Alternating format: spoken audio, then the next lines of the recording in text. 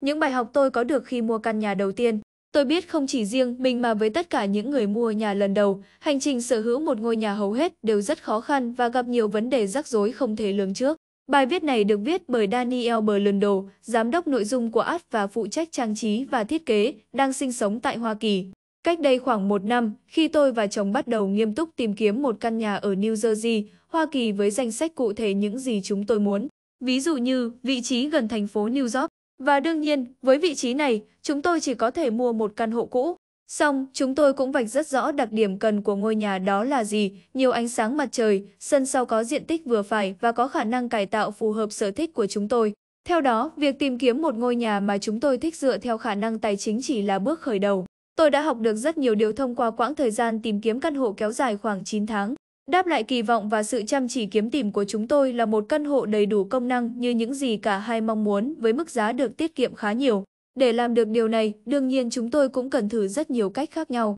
Hy vọng những gì bạn sắp đọc trong bài viết này sẽ đem lại hiệu quả hữu ích, phục vụ cho quá trình tìm kiếm và sở hữu căn nhà trong tương lai của bạn. Một ngôi nhà không có hình ảnh đẹp và bắt mắt trên Internet vẫn đáng để chúng ta xem xét, lưu tâm. Xét cho cùng, hình ảnh về ngôi nhà trên các trang web bất động sản là cách cơ bản mà hầu hết mọi người dùng để tìm kiếm thông tin. Với những góc quay lạ và ánh sáng quá đỉnh, về cơ bản, bạn đang xem hết ảnh đẹp này đến ảnh đẹp khác. Bài học được rút ra ở đây là đừng để bị cuốn vào cỗ máy tiếp thị và bạn có thể đạt được lợi thế cạnh tranh đối với một bất động sản tuyệt vời. Trước khi đưa ra đề nghị, hãy tham khảo và tìm hiểu ý kiến từ ít nhất hai nguồn thông tin.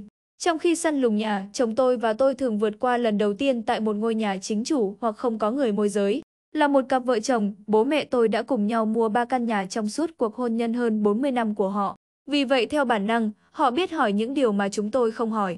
Đặc biệt, mẹ tôi cũng không ngần ngại hỏi các đại lý niêm yết về tình hình mở bán nhà, có bao nhiêu lời đề nghị đến. Họ biết gì về chủ nhà hiện tại, những điều mà cá nhân tôi cảm thấy khó xử. Tất nhiên, người môi giới của chúng tôi cũng đã nói chuyện nhỏ như vậy, nhưng nếu bạn có thể nhờ một người bạn hoặc ai đó thân quen tìm hiểu thì sẽ tốt hơn. Những thông tin chi tiết từ một hoặc hai người đáng tin cậy có thể rất có giá trị. Tôi cũng cố gắng quan sát những ngôi nhà vào những ngày nhiều mây, khi có thể, để xem tình hình ánh sáng mặt trời có thể trở nên tồi tệ như thế nào. Tôi yêu căn hộ ở thành phố New York của chúng tôi vì nhiều lý do. Sau khi sống ở một nơi tối tăm chỉ chưa đầy 10 năm, tôi muốn cắm rễ ở một nơi đầy nắng. Một chỉ số tốt khác khi nói đến ánh sáng tự nhiên. Chúng tôi ngưỡng mộ bộ sưu tập cây xanh tốt cho sức khỏe của những người chủ cũ tại ngôi nhà hiện tại của chúng tôi. Và họ thậm chí còn để lại cho chúng tôi một vài chậu cây vô cùng xinh xắn. Bạn cũng có thể sử dụng một ứng dụng để theo dõi vị trí mặt trời mọc và lặn của căn nhà mà bạn đang xem. Nó cũng có thể cung cấp thông tin chi tiết nếu bạn có nhu cầu trồng cây hoặc làm vườn tại nhà.